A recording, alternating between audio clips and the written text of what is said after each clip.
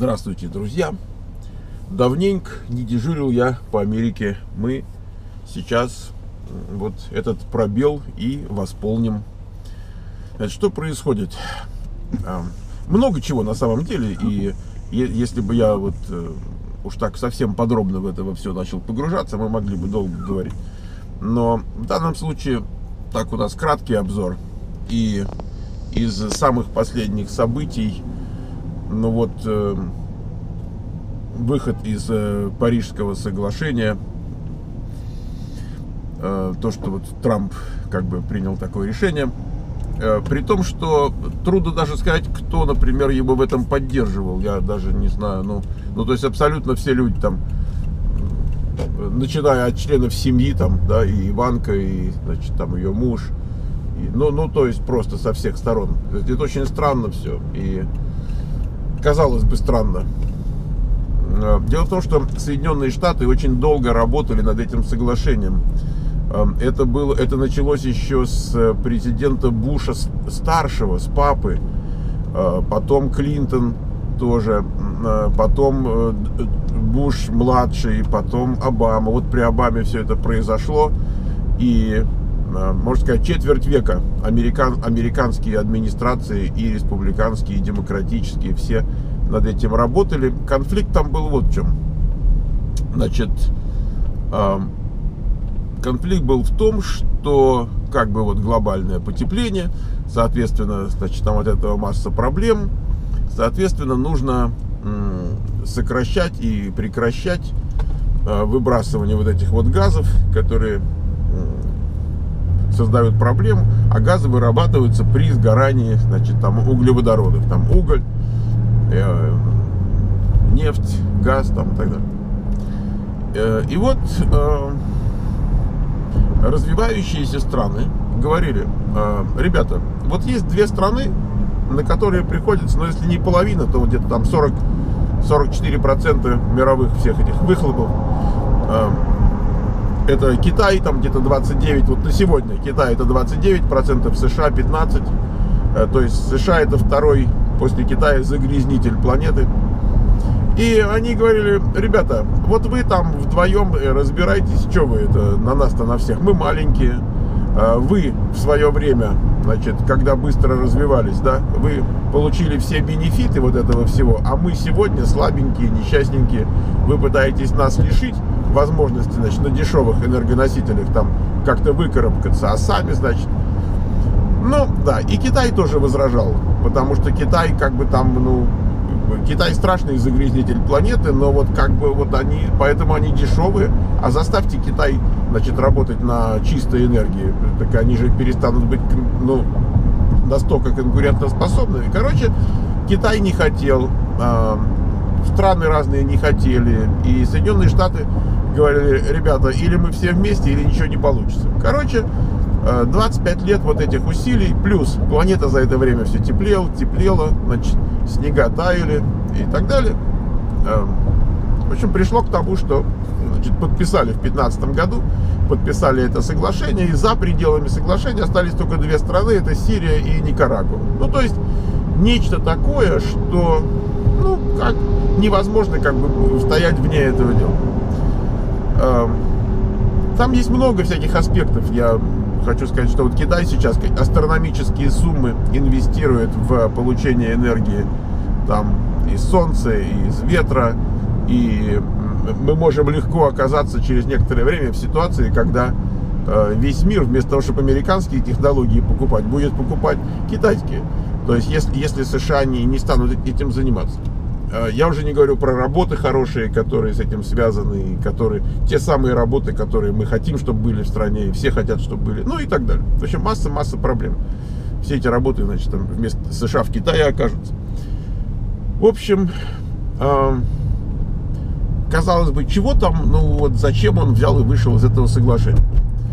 Дело в том, что он как бы обещал, да, то есть как бы э, тенденция такая была на выборах. Вот все нас обижают, все нас грабят, все соглашения невыгодны, с Мексикой и Канадой невыгодно, с, со странами Тихоокеанского региона невыгодные, с НАТО невыгодные нас все обирают. Короче, нас все обирают.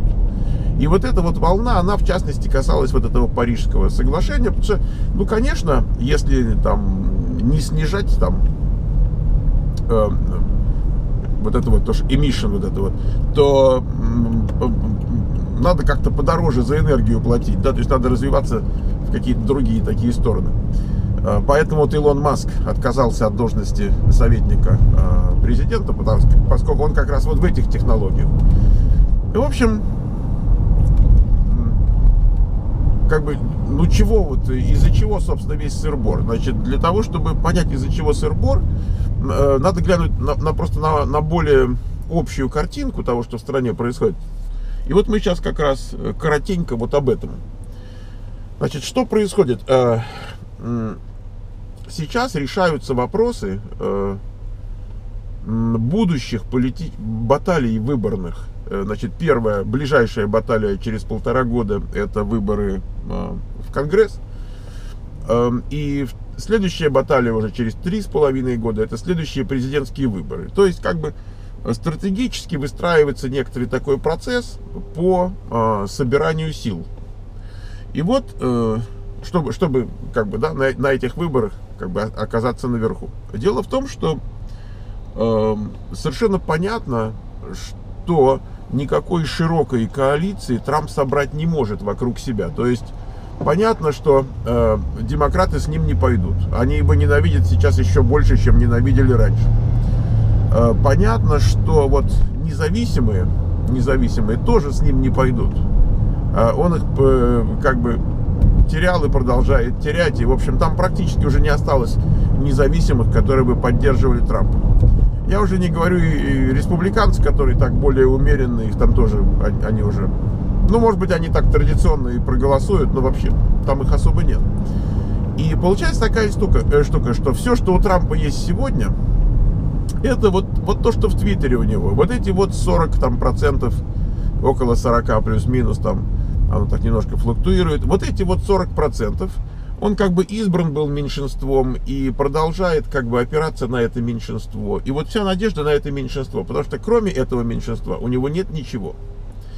А, и даже те, кто его сегодня поддерживает, там, какая-нибудь Fox News там, или там, вот эти вот все, они его сольют в любую секунду, он это знает. Поэтому у него такая паранойя по поводу личной преданности, э, назначаемых там на всякие посты. Это отдельная тема, но э, у него очень трудно идет процесс назначения на посты э, в аппарате. То есть э, Обама в этом смысле как бы очень быстро продвигался. Этого не получается, потому что он не верит им никому, понимаете? Э, у него вот есть вот эти вот, вот и все. Поэтому, значит, почему выходят из Парижского соглашения? Потому что это должно приободрить, с их точки зрения, должно приободрить контингент свой, и должно этому континенту сказать, мы вот, вот, э, мы с вами, вы с нами, значит, мы вот там мир, дружба, жвачка навсегда. Эм, оставшись в Парижском соглашении, ну, с их точки зрения, так мы понимаем, они бы огорчили какую-то часть своего электората, а другого у них нет.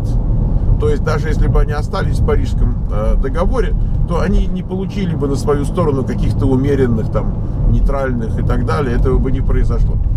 Э, ошиблись они в своих расчетах или нет, это вопрос интересный, потому что как бы очень много непопулярных мер принимается, даже среди вот этого контингента не очень популярных. Скажем, отмена Обама Кера – это крайне непопулярная мера.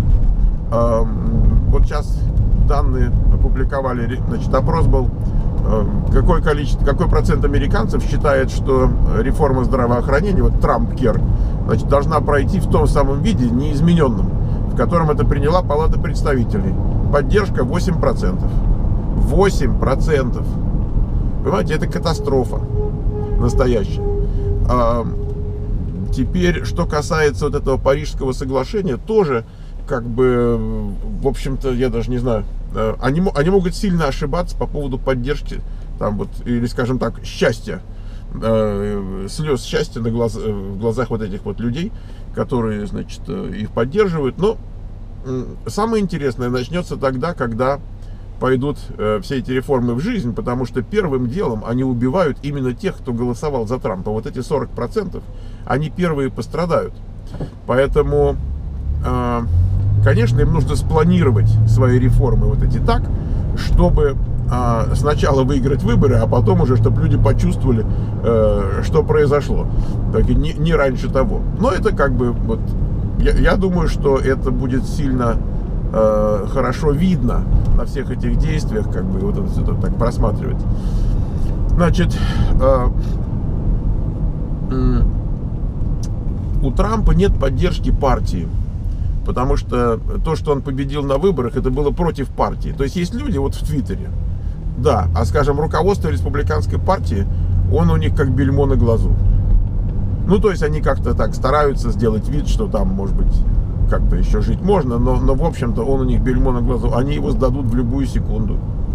У него ничего нет. Вот, вот эти вот только люди, плохим словом называть не будем, а хороших нету. Вот эти вот. А, и, и все. Поэтому э, какая-то страна, какая нахрен страна?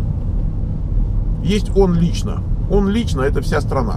Есть его личный интерес. Под его личный интерес, под его вот это вот, э, как, даже не, нарциссизм, вот этот вот, э, собирается команда, э, тоже хороших слов нет, плохих говорить не будем. Э, и вот они делают какие-то вот эти вот безумные вещи. Э, э, проблема даже не в том, что вот, скажем, выход из э, Парижского соглашения подрывает как бы позиции Соединенных Штатов, действительно подрывает и очень сильно подрывает. Но это не только Парижское соглашение, а это еще вот этот визит в Европу катастрофический э, по своим, так сказать, последствиям, когда Европа поставлена в ситуацию, когда она говорит, ну хорошо, значит придется, будем теперь жить без Америки и без Великобритании, но раз уж так вышло, что не получается. Значит, будем жить сами.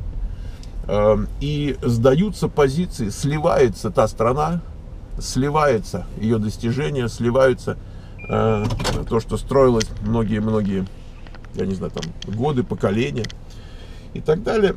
Эм, тут солнышко светит, я хотел камеру как-то повернуть, чтобы мы с вами там друг друга увидели. Ну давайте я так подержу здесь в, тени, в теньке руками. Все это сливается. И но катастрофа не в этом.